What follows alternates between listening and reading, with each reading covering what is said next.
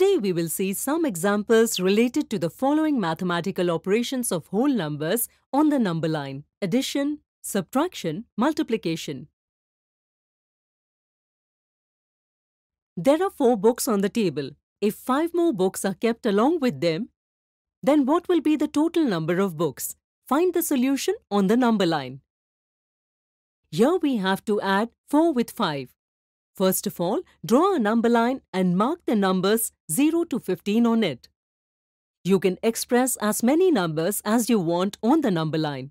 The first number is 4, so you will locate 4 on the number line.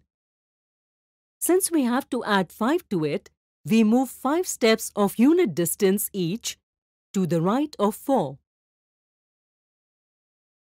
To represent the steps, we will use arrows pointing towards right direction. Since the last arrow points to 9, therefore, the sum of 4 and 5 is 9. That is, there are 9 books on the table now. Example, Pawan had 7 pencils. He gave 4 pencils to Chanda.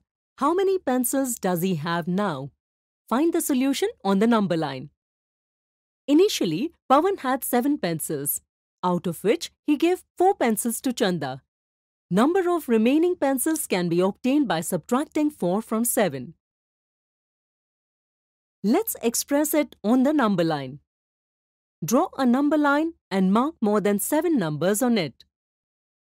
Since the first number is 7, we will locate 7 on the number line. The second number is 4. So starting from 7, let's move 4 steps of unit distance each towards left. Note that during subtraction, we move to the left and during addition, we move to the right direction. After 4 steps, we arrive at number 3. This is the answer of 7 minus 4. Therefore, Pawan has 3 pencils left with him. Example Mother gave 4 rupees each to her daughters Ankita, Savita and Nisha. Can you tell how much money mother gave to her children? Find the solution on the number line. In the example given, the total number of children is 3 and each one gets 4 rupees. Therefore, the total amount can be expressed as 3 multiplied by 4. Let's find the solution of the multiplication 3 multiplied by 4 on the number line.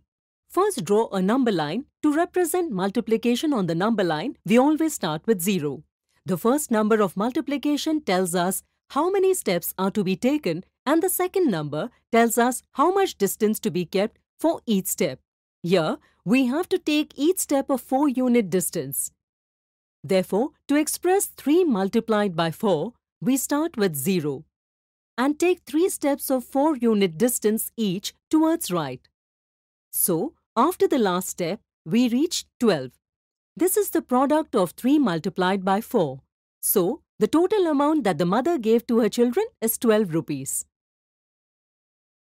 In this video, we have seen examples of following mathematical operations of whole numbers on the number line.